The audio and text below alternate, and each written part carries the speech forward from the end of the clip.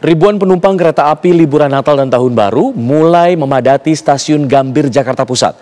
Lebih dari 7.000 penumpang kereta api jarak jauh diberangkatkan dari stasiun Gambir ke berbagai tujuan di Jawa Timur dan Jawa Tengah.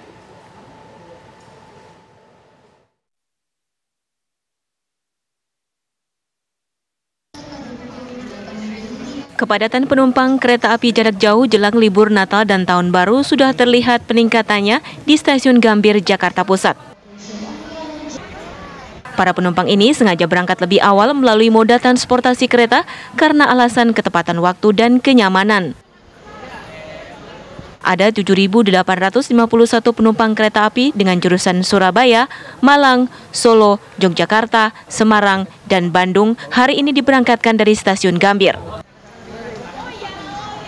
PT KAI menyiapkan 63 perjalanan kereta api setiap harinya. Hari ini sebanyak 63 KA dengan rincian dari stasiun Gambir sebanyak 32 KA, dari Pasar Senen sebanyak 31 KA.